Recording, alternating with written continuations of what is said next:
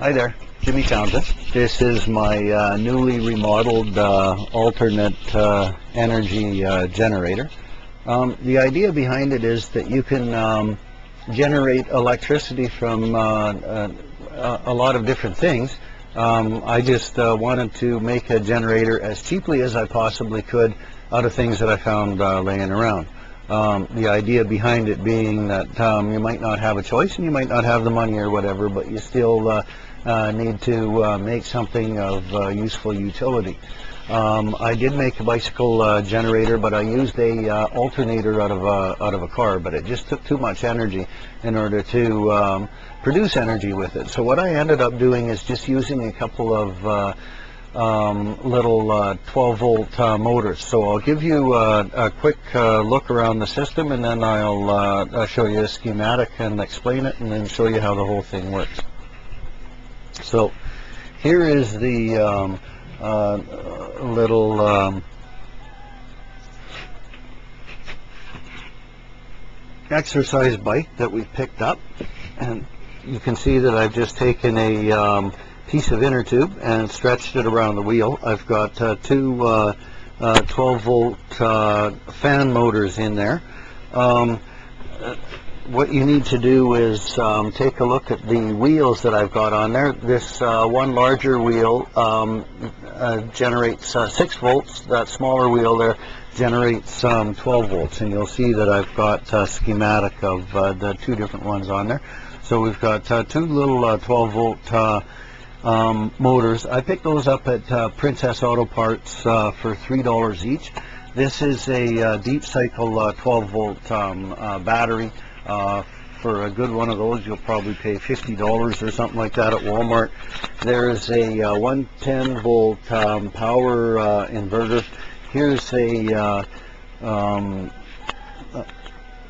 a charger for the uh, 12 volt battery that I can plug into the wall so I can uh, charge the battery in the wall anytime that I I do have electricity and um, as you can see it's just a little exercise um, bike here's the uh, uh, schematic for it you can see I've got a positive and a negative now whenever you're dealing with uh, 12 volt and um, uh, 110 volt and uh, uh, electricity, that's what you have is a um, positive and a, a, a negative.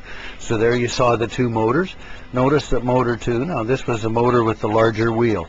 If you don't get the right voltage output for the uh, energy that you're putting out uh, on your um, bicycle generator, just change the uh, size of the wheel on the motor until you get the right output that you want. Okay, so this puts out 6 volt. You can notice that I've got this fan on there and I've got a uh, light on there. The other motor is hooked up to the battery, so I can charge that 12 volt battery just by um, pedaling the uh, bicycle generator. Um, this what this means is as soon as I get on the bicycle and I start pedaling, I've got light. So I can use this light to read at night, and it takes very little energy in order to uh, run this thing, and that's the idea behind it. I want to produce as much energy as I can for as little energy as I can possibly uh, output.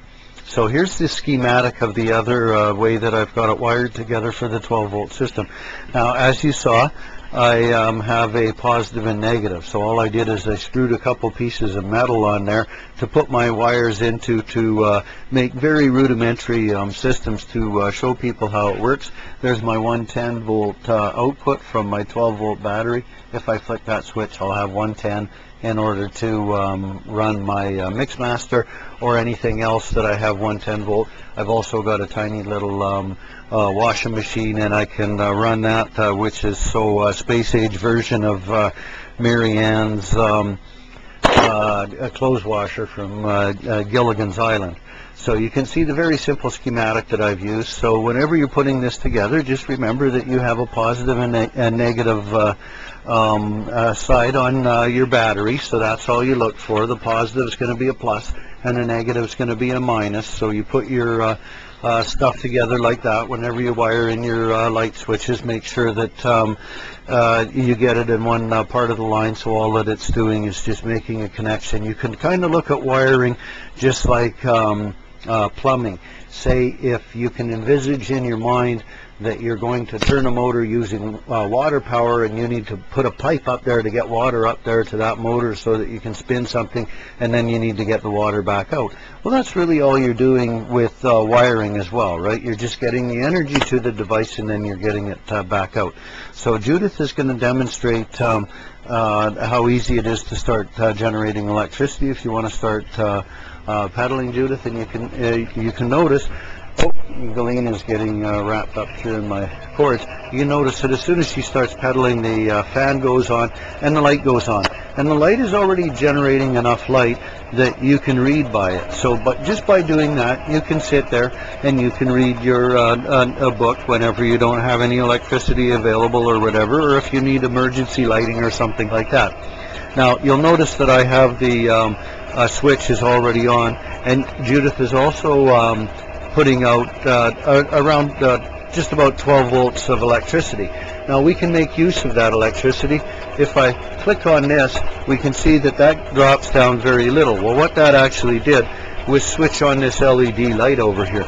So if you can get 12 volt LED lights, you're going to save a lot of energy because they take very little energy to light up.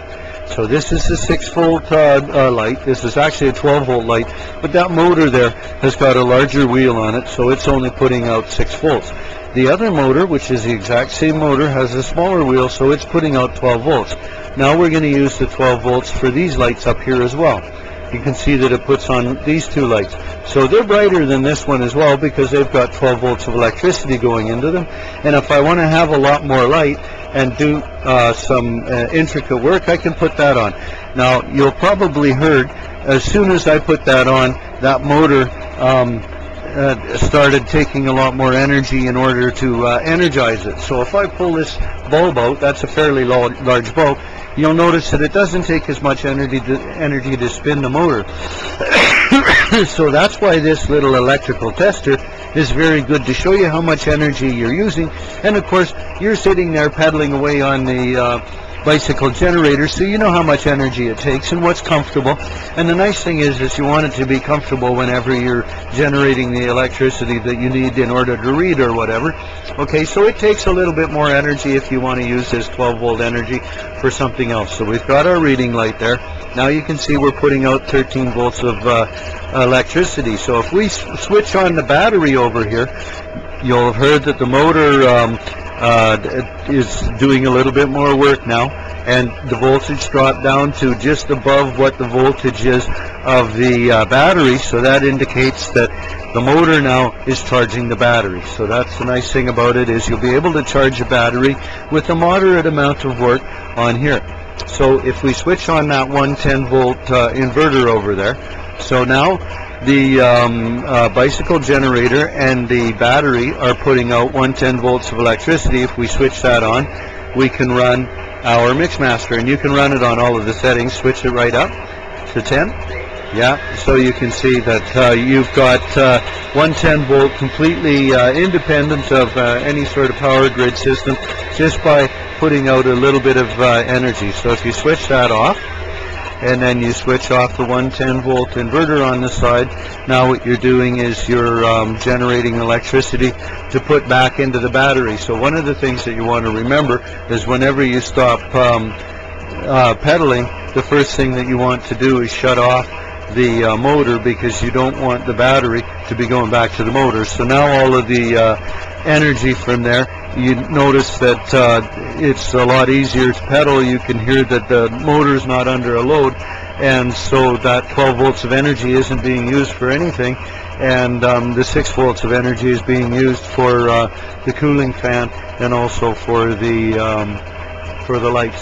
So I hope you uh, found this to be a uh, useful uh, demonstration of um, how you can make your own little uh, bicycle uh, generator. Just get yourself a couple little uh, 12 volt DC motors. Remember that how much energy you're going to output from them is dependent on the size of the wheel that you've got on the shaft there. And just remember that everything is just positive and negative, and you can kind of look at it, the whole system, just like it's a, uh, um, a, a little water system, if that allows you to envisage it a little bit uh, uh, easier. So, you know, just take your electrical wire, go from positive all the way around, just lead it uh, back onto uh, the battery, and uh, you'll make out just fine. Have fun with it. Love you all. Peace, eh? Take care.